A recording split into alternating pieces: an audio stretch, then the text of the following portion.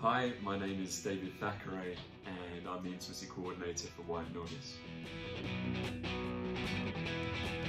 Uh, I trained as an actor for five years, four of those at the Royal Central School of Speech and Drama. And then I found myself going into directing, theatre, and a little bit of screen. And then when this role was being established, I trained as an intimacy coordinator uh, right from the beginning.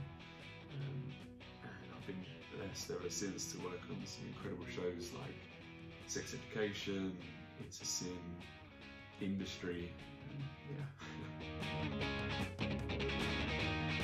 An intimacy coordinator offers a process that allows open communication and transparency uh, when working with intimate content for the whole production or the whole company, so not just for the actors. It, it allows the actors to work the scene just like any other.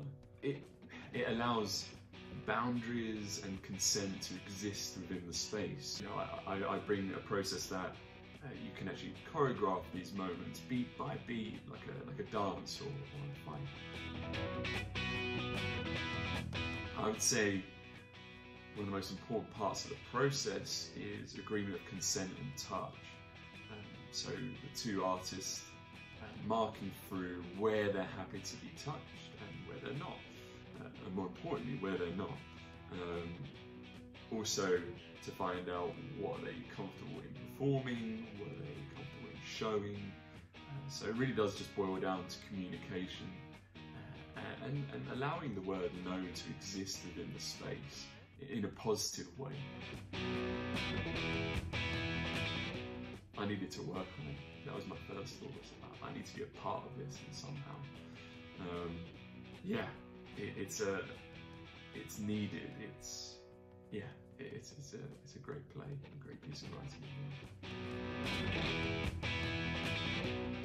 Definitely working with Helena and James and, and collaborating with Polly.